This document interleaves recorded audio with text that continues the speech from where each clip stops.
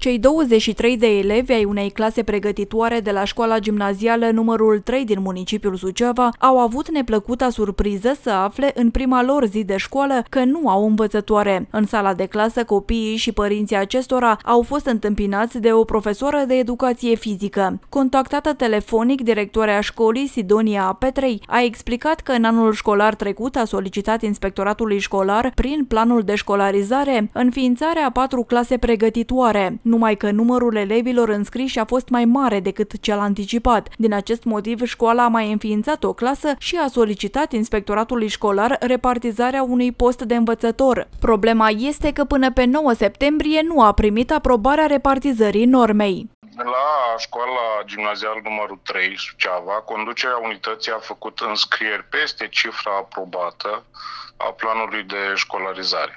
Vom verifica dacă toți copiii sunt din circumscripție sau dacă nu sunt de, din circumscripție, în ce condiții s-a făcut înscrierea lor. Ce se va întâmpla cu acești copii? Vor rămâne totuși la școala 3 sau vor fi repartizați la alte unități de învățământ?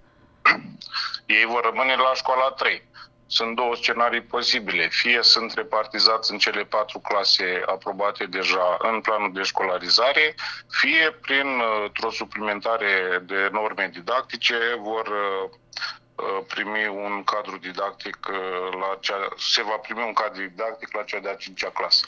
Purtătorul de cuvânt, Cezar Anuței, susține că inspectoratul școlar a depus la Ministerul Educației o solicitare de norme, nu doar pentru școala 3, ci pentru mai multe unități de învățământ din județul Suceava. Acum, instituția suceveană așteaptă răspunsul de la București.